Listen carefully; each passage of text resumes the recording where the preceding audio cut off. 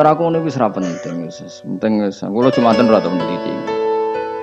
Tapi yang saya pastikan gini ya, secara ilmu, ilmu itu muqaddam alal adam. Ilmu itu harus didahulukan alal adam. Ada hal-hal tertentu yang menang adab, tapi yang ilmu yang tidak wajib. Tapi nah ilmu fardu ain pasti menang. Ya mau tadi misalnya. Akhirnya anak kulo nggak biasa gugah kulo, nganti saya nggih biasa. Terutama sing alit, sing gede dia isin dhewe. Karena tadi bojo kula tak omongi ngono, kena pelu mau tadi kepentingan harus gugah saya ya gugah. Yang harus diganggu seorang istri adalah suaminya.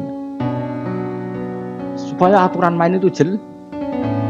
Loh mbak dalam saya saja berani gugah saya karena tak atur mbak dalam saya yang bagian ibu tak kayak kaidah kali ibu gerah saya di rumah gugah totok.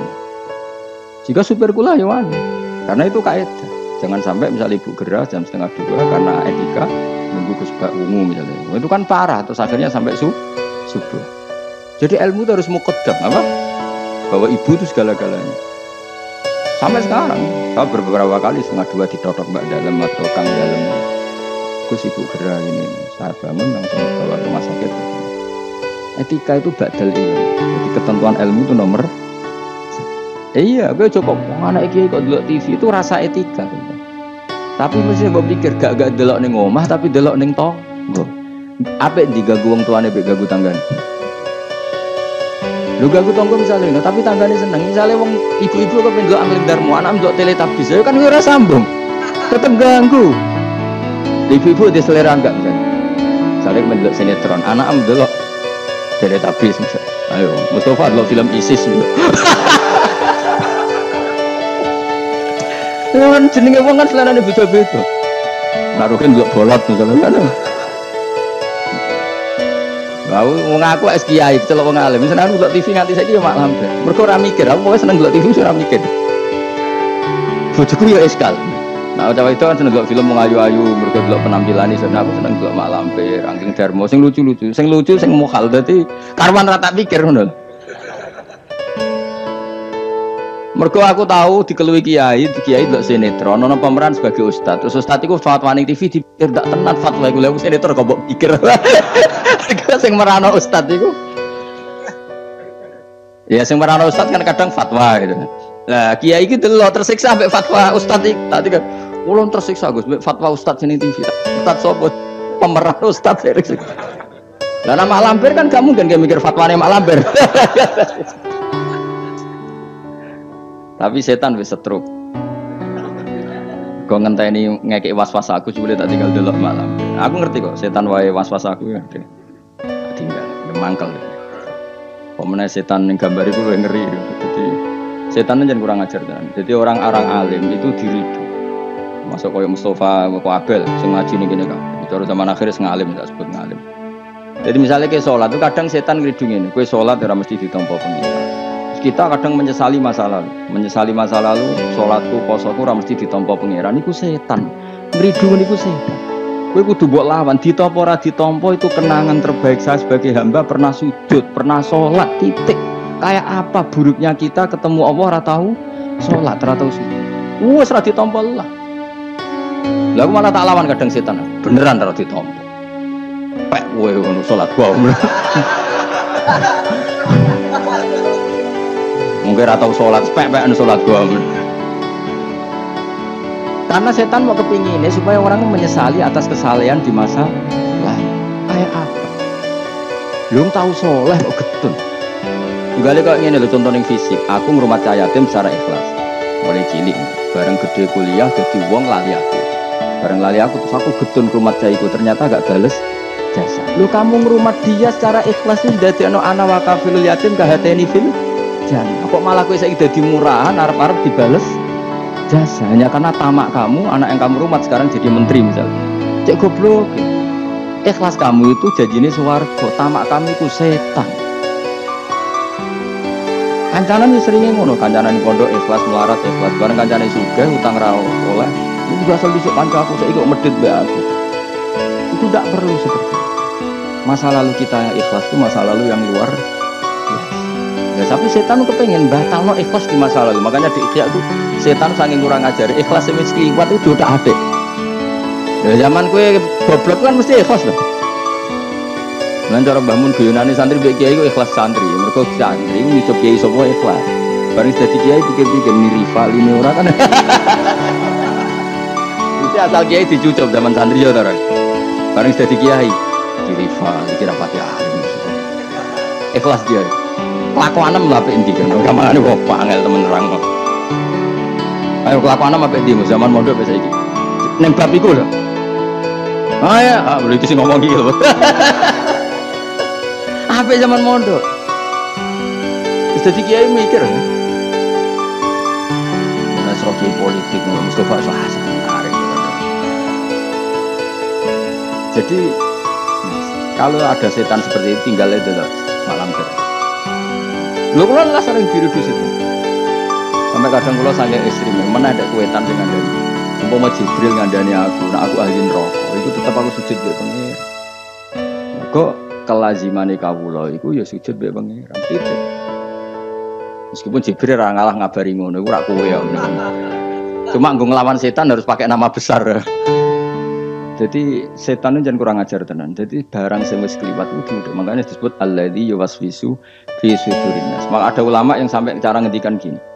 Allah itu ketika melawan santet itu hanya dengan sifatnya. Kul a'udzu birabbil falak hanya dengan sifat satu, birabbil falak. Langsung min syarri ma khalaq wa min syarri ghasikin idza waqab wa min syarri nafathati fil Jadi untuk melawan santet Allah itu hanya menceritakan satu sifat kedikjayaannya yaitu birabbil falak. Tapi ketika Allah untuk melawan waswas itu Allah cerita tiga sifatnya. Qul a'udzu birabbin nas, malikin nas, ilahin nas, min syarril waswasil Jadi sampai Allah menceritakan tiga kekuatan sifatnya untuk melawan waswas. Itu betapa seriusnya waswas. Sampai Allah untuk melawan itu menceritakan tiga sifatnya. Karena betapa bahayanya waswas. Waswas itu apa? Alladhi waswisu fi sudurin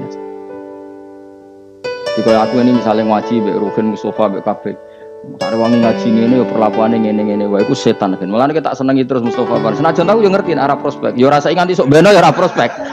Kok saiki nganti sok beno rap. Ya malah bayanganku nganti ning akhirat yo ngel-ngel aku, yakin.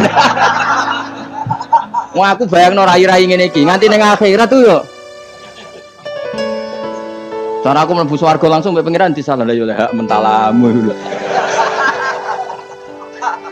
Terus prospeknya ning ndi jajal ngancana? Tapi piye-piye perintah pangeran. Iki umatnya Rasulullah, umatnya Kanjeng Nabi. Perintah pangeran rumat hak umatnya Nabi. Aku gak oleh.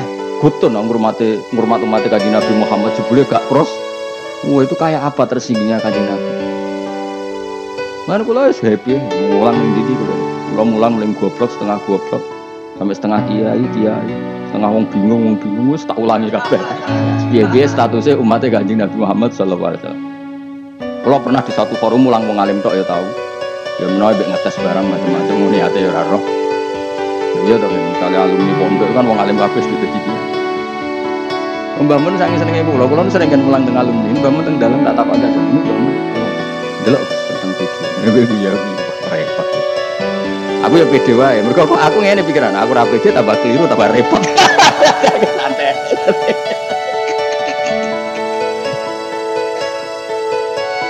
Tapi khawatir saya nanti gitu. Kowe diri di setan, mbok rewangi ngono. Saya temu cilik mbok rumah, saiki sudah ya lali kowe. Iku riduane kose.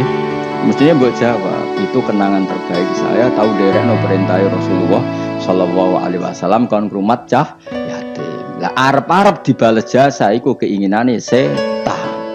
Jadi rumah cah yatim ki nuruti perintah Rasulullah, toma iku perintah setan. Berarti setan harus kamu lawan. Iku min syarril waswasil khon. Jadi ya sudah. Malah cara aku beneran, cara aku jadi wali. Menawa ya wali menawa. Pokoke cara aku nganggo pikiran wali lah dan berapa dihasuti wong. Cara aku nganggo pikirane wali, ngrumat Mustofa Ruhin dadi sugih lali aku, aku malah seneng. Ben gajaranku utuh. Nak diwales dadak ka kalong. Nggih mboten cara aku nganggo pikirane wali. Senajan aku ora mungkin Mustofa balas aku ya ora mungkin. Umpama umpama. Umpama ya. Ucuk-ucuk Mustafa juga di Ferrari. Oh. ya hal mestinya, tapi ki mau mau. Terus mendingnya wah Gus, kalau mau goblok jenengan pinter rom melarat jenengan sudah numpuk Ferrari iki. Masa orang Jawa numpak Ferrari misalnya. Kan bid'ah. Mustafa maksudnya sing tak gojok Mustafa. Orang wong jenggoten liyane orang Mustafa. Tetep aku cara nganggo pikiran wali gak seneng, gak senengku kuatirku iku dadi walese ngumulangku selama ini. Ini nak Mustafa atau lali numpak Ferrari mualor itu lali aku kan malah apik. Malah apik perkarane aku ora diwales. Cuma aku ya ndonga muga-muga gelem ngaji meneh. Saiki malah kok malah ngegeng nang mall numpak Ferrari. Senajan itu mokal, ke bayang ora mokal. Wong jenggoten khusuk ngene terus ngono mokal gak? Tapi tetep mungkin dong pangeran. Tapi nek iso yo ojo. Mus khusuk ngene kok. Ojo ojo. Lho kan gelem tak dongakno, dongaku. Dongaku mandi, yakin mandi. Pokoknya aku donga sing aneh-aneh ku mandi mesti. Gelem ora, nek gelem tak dongakno saiki. Mosok sampeyan akeh ngamini gak mandi.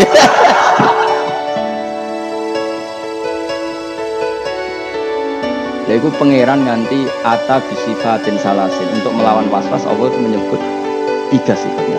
Apa? Birobbin nas, malikin nas. Terus lagi min syarril. Lho kok ambek bojo ngoten, nak ambek kecewa ambek bojo, ambek anak, ambek tonggo, mesti ya diri dulu. Tapi agar kula balekno, iki bojo kula. Dengan merintahkan wa asyiruna bil ma'ruf, berarti ngapi ibu itu perintah jenengan. Kadang ngamuk, murid-murid itu perintah setan itu ujung-ujungnya nuruti harga dia tapi muamalah bil ma'ruf itu perintah jenengan gusti kalau di sini jenengan timbang perintah nafsu mbak jenengan nuruti nafsu ya mulang ini ki prospeknya begitu nuruti nafsu. Tapi kan kiai amat itu serah bakal jadi wali. Wong akan perhitungan serah bakal jadi wali. Dan nuruti perintah pangeran? Allah nyifati rasul sapa rasul yasbu alaihim ayatika wa yu'allimuhumul kitab. Sifat khasi rasul mulang Quran Nah kita itu ulama warasatul ambiya khasih hubungan nak kowe warasatul ambiya khasih kiai umat hubungannya mu mulang radiyatu alaihim ayatika wa yu'allimuhumul kitab wal hikmah. Ya ulama be umat kok hubungannya di manajemen. Umat sak menake tak wajib ziarah selisih biro. Iku ora hubungannya ulama be umat, paham ya? Ku pedagang. Tapi ono sing ngono ya oleh ben selingan lah. Nah, kapan-kapan film tak bisa. Tapi kalau suwon, pokoknya was-was itu harus dilawan. Jadi was-was itu harus termasuk lagi suul khotimah itu juga lawan. Tak rewangi sholat ini, tak rewangi ibadah ini juga aku kok nang suul. Itu tuh buat lawan. Wes suul khotimah lah, sebenarnya mau tahu sujud. Karena keinginan setan itu sebetulnya hanya supaya kamu tidak nyaman dengan ibadah. Tapi kalau ketakutan suul khotimah kamu menjadikan kamu sopan sama orang lain, menjadikan kamu tawaduk, gak apa-apa. Itu berarti sama malah malaikat karena ketakutan suul khotimah berakibat takzim atau sopan kepada orang lain itu bagus berarti kan tambah tawaduk mesti tambah tawaduk aku soleh lah ya kurang mesti husnul khotimah. Akhirnya tawaduk be wong liya itu bagus karena efeknya bagus paham ya? Tapi nak terus gak nyaman dengan ibadah kamu di masa lalu karena takut tetap suul. Wah itu setan-setan amoh yakin sih. Kudu buat lawan. Wes aku suul khotimah lah tetap aku bangga jadi kawulane Allah. Tahu ning dunia sujud tahu ning dunia maca tasbih tahu maca selawat ning Rasulullah sallallahu alaihi wasallam akhirnya setan kan mikir. Tapi akhirnya nyatane suul khotimah terus gunane apa? Gunane ya aku tahu sujud mbek pangeran. Sujud kok ora roh gunane? Dasar setan elek. Wong ora roh gunane sujud kan dadi terang apa? Mesti nak ketok terang. Lho omongan ini kan wis gua pulok gedeng wong gunane apa ke sujud nak akhirnya suul? Wong kok ora roh gunane? Sujud itu kalian ini gunanya apa? Aku mangan nak terus ngising ke sunnah. Kok karena takok ngono? Bodoh-bodoh akhirnya le sunnah loh. Terus kayak apa ramangan? Mau aku mangan kenapa? Sobat jalan sunnah. Gendeng tau orang. Tak gendeng orang. Ya bodoh. Wong tahu sujud kok getun suwe tanam Ya dong ya. Awas untuk kancanan setan. Aku sepegatan suwi kok ngece akrab. Oh, aku sepegatan suwi ini. Kowe cek akrab gitu. Kowe cek kenal Mas, mbek setan. Setan itu seneng godho wong khusuk lho. Cuma kan dapat itu godho. Gak menarik cara setan itu. Kan wis nyerempet-nyerempet salah deh. Wong khusuk tambah semangat. Dong khusuk ora setan malah kok cari referensinya.